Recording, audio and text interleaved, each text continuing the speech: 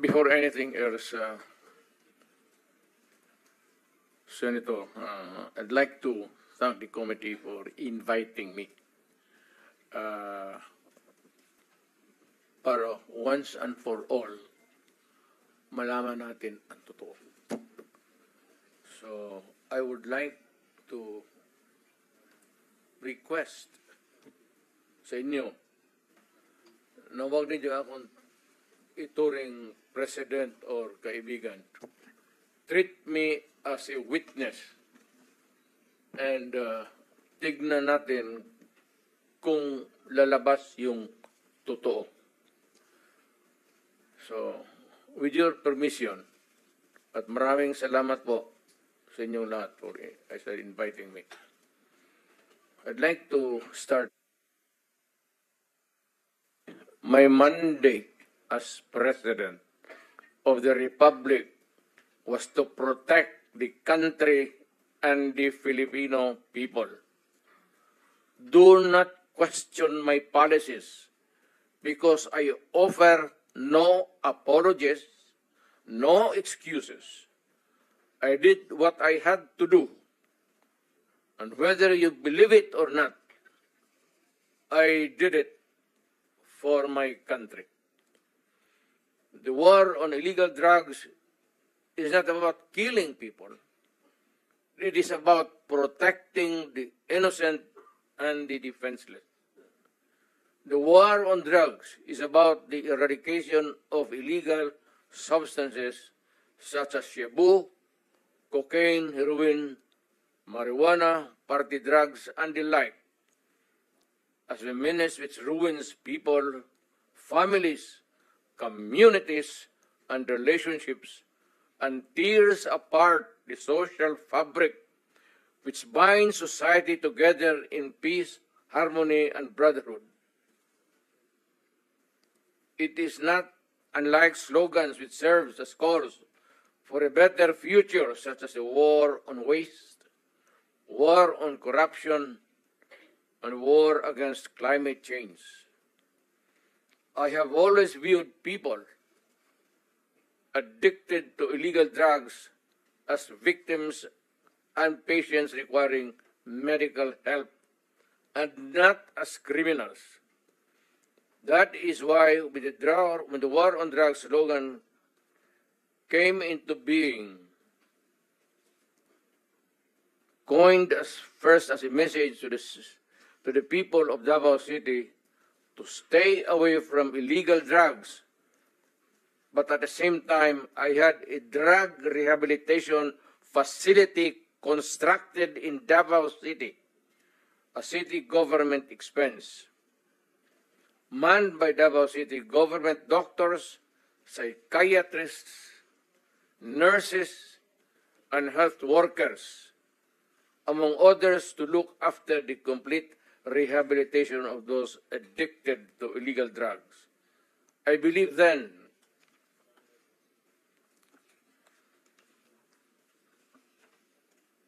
and I still believe now that rehabilitation and not fear of death or incarceration to be the key to the return of the addicted individuals back to the mainstream of a just and forgiving society. But no mistake about it. I hate drugs. I loathe the purveyors, the merchants, and the pushers of this demonizing element. I have not failed to emphasize this from the very day of the campaign when I ran for the presidency in 2016. This was my covenant with the Filipinos who believed in me. And to this day, must still agree with what in government have achieved. It is unfortunate that drug-related crimes are on the rise again. Every day you can read about children being raped, people getting killed and robbed.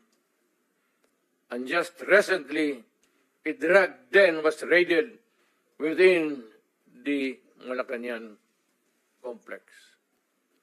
This clearly manifests that the purveyors of this menace are back in business.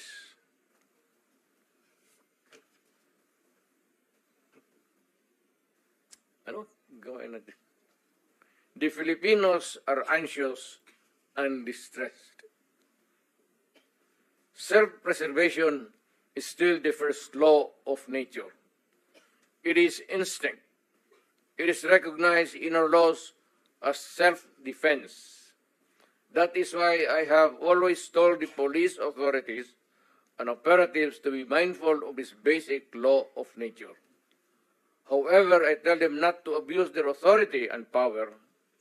And hindi ko talaga pinayagan yung abuso ng polis o sundalo kailanman sa buong buhay ko and as mayor for so many years and as president in the guise of protecting themselves. But when your very life is placed at risk and it can be snuffed out in a matter of seconds, then and only then must you act accordingly. Repel the aggression only in self-defense. Alam mo,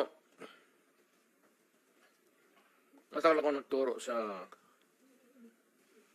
aming bayan sa Police Academy. When I was a prosecutor, to augment my income, noon na, bago akong kasal, nagturo ako sa police. Ang sinabi ko talaga sa kanila, when you are arresting a criminal, you are not supposed to request him to surrender.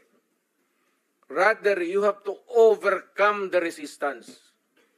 However, pag ayaw, it's the duty of the police is to overcome the resistance kung ayaw mag-surrender. At kung may baril, at kung tingin mo, sabi ko sa mga polis doon sa academy, mamamatay ka, barilin mo. Barilin mo sa ulo. Patayin mo at least one less criminal in the community. Yun ang utos ko when I was a fiscal and I was a professor doon sa Police Academy. Yun ang turo ko sa kanila. No quarters given, no quarters asked. Criminal ito.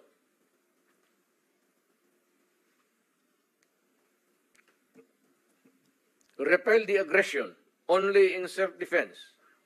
Do not make orphans of your children and widows of your wives. I don't want that in my conscience as mayor and president. Hindi ko mabigat yan sa konsensya ko.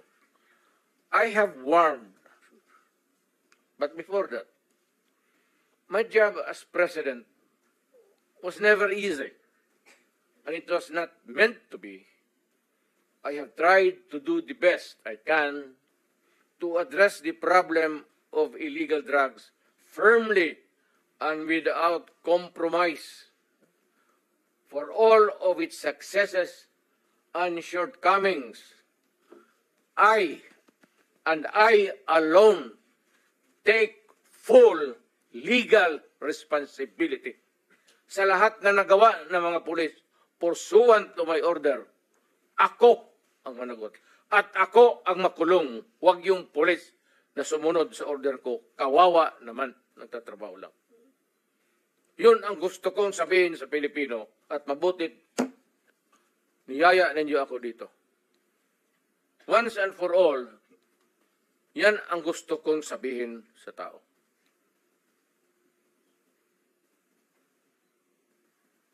I have warned all of you as your president then and as a private citizen now. Drugs will destroy the Filipino. It will destroy my country. And I will never allow it. Baski ako empleyado sa gobyerno o private citizen. I will do what is necessary to protect my country, my community, at yung mga anak natin. This is a matter of principle. At papagkamatayan ko yan. Maraming salamat. I'm ready to answer your question. Thank you, Mr. President.